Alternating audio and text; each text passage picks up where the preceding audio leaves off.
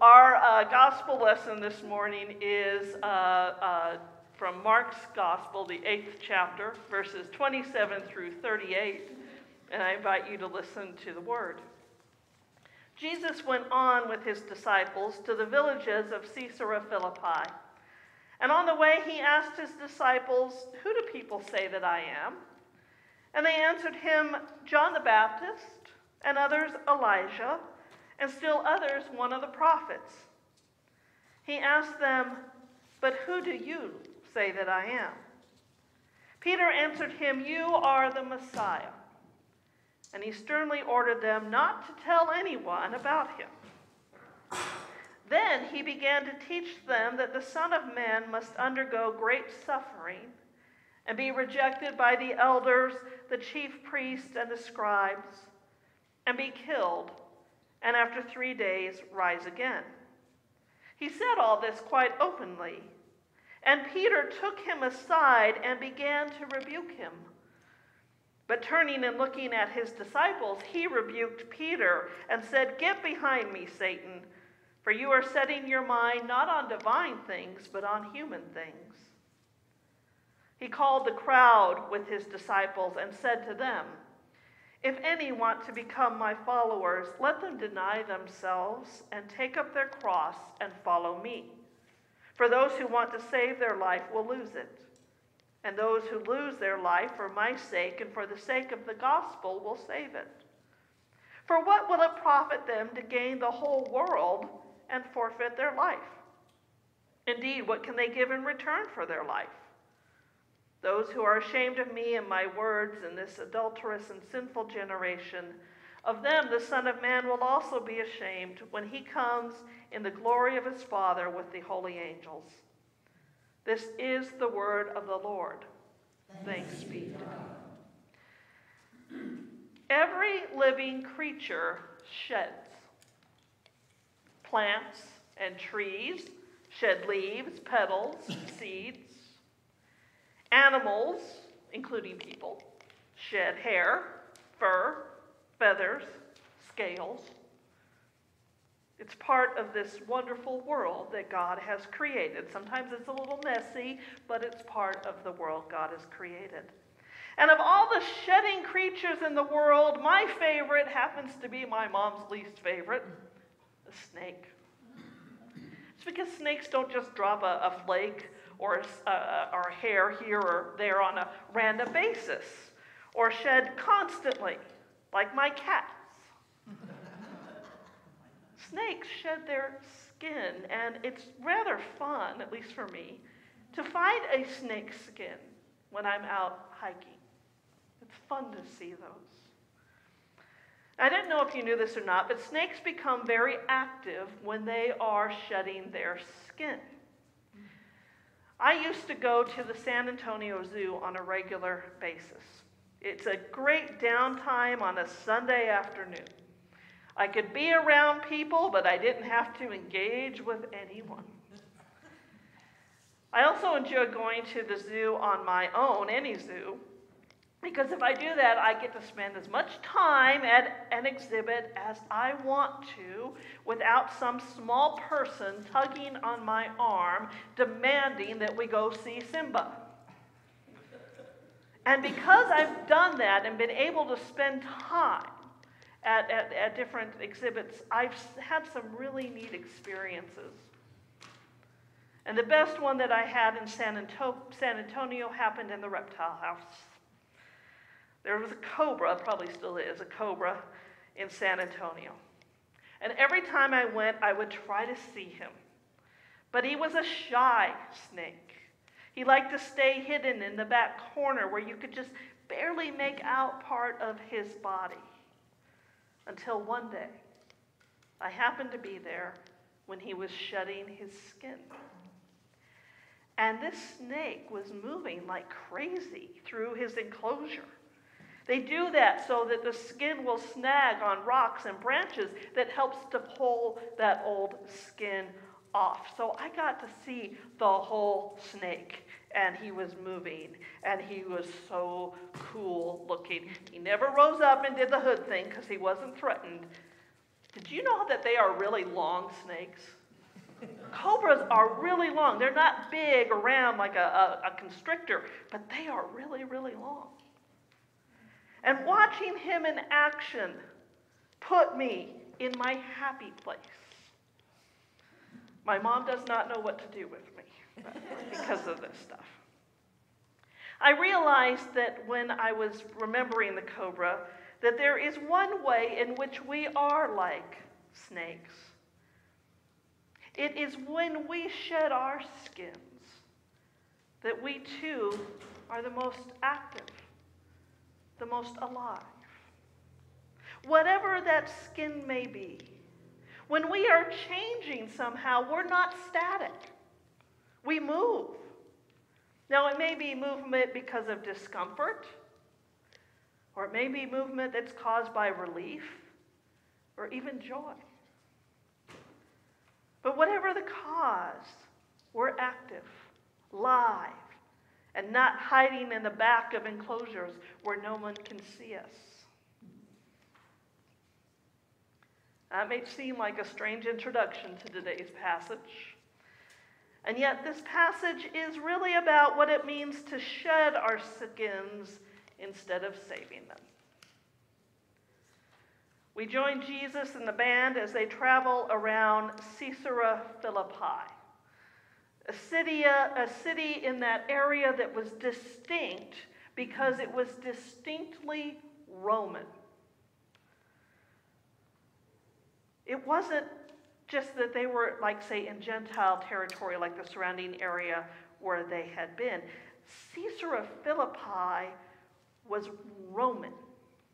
It was even, even its name is Roman. It was named after Caesar Augustus, where we get the Caesar part, and Philip, the son of Herod the Great. Philip is the one who built the city up. Herod the Great and his sons, Herod and Philip, all ruled at the pleasure of Rome. So, Caesarea Philippi was a city that was built for the empire, and it showed. It was a city that reflected the power and the wealth of the empire in its trappings.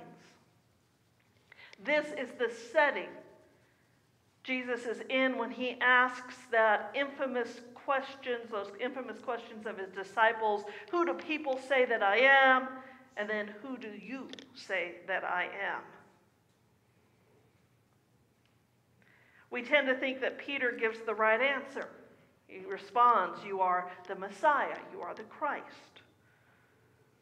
And Peter's answer is important, and it's important for two reasons. The first one is this is the first time in Mark's gospel that the title Christ is used for Jesus since chapter 1, verse 1.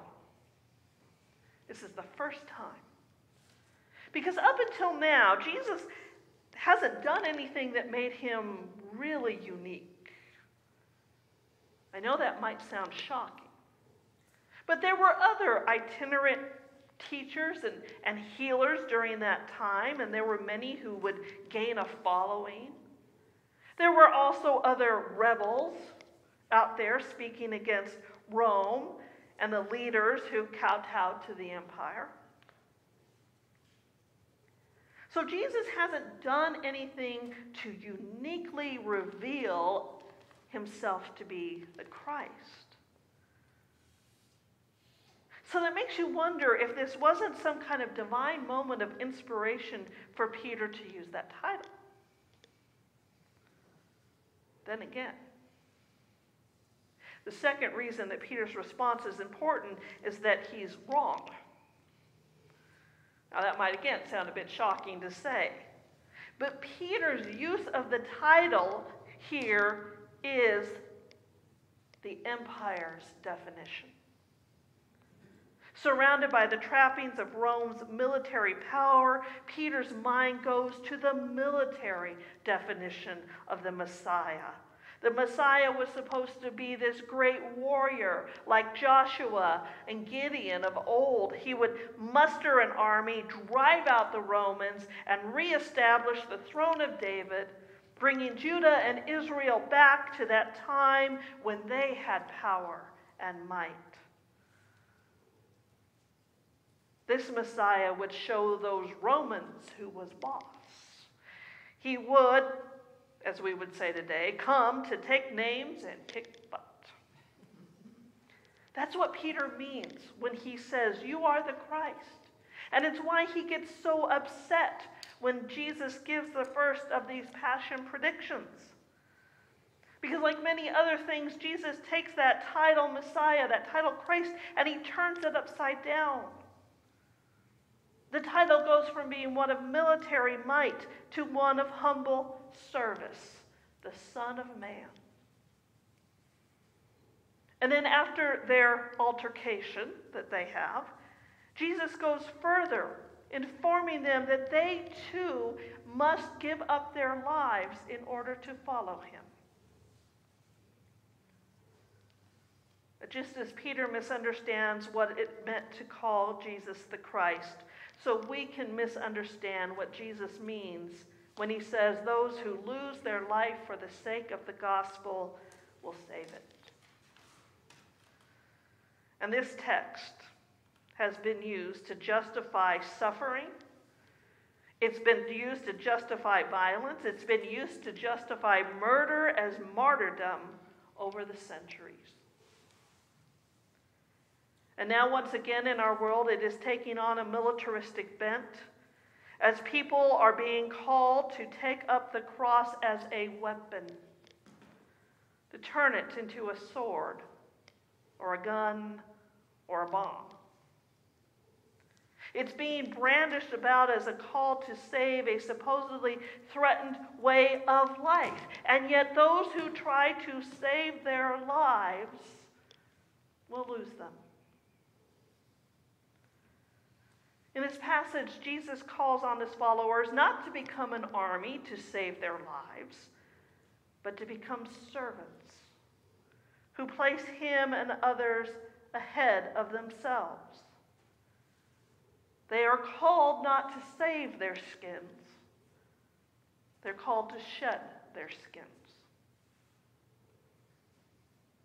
We are called to shed our skins the false skins that we wear. The skins that say we have to look out for ourselves only. The skins that say we don't have enough, so we need to protect our stuff at all costs. The skins that reflect back to us those false images of others, not only as strangers, but as enemies. Those skins those ideas and actions designed to save us are what kills us. Because they keep us from experiencing the full life of shalom in Christ. We are supposed to shed those skins. And we're supposed to shed them on a regular basis. And when we do, we find ourselves renewed with new energy and a new lightness of being.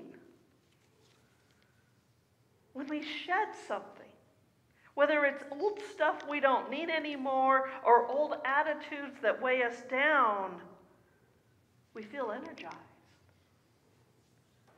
Just like a snake when it sheds its skin. Our divine imaginations begin to stir again as the old skin is left behind. We become more active, more alive. Shedding our skins does come with a cost. It may mean leaving others behind who are clinging so hard to their old skins that they stay huddled in a back corner. It may mean living, leaving behind things that we have given value to material items, wealth, power, status. It may be painful at times because the old skins tell us we can't let anything go. But we're not called to save our skins. we are called to shed them so that we can leave ourselves open to the exposure of God's love through Christ. We're called to shed them so that we can show that same love in the way that we live and love and follow. Shedding our skins is how we save our lives. Not our individual lives, but the life of faith, the life of community, the life of discipleship that follows the one we call Christ. Amen.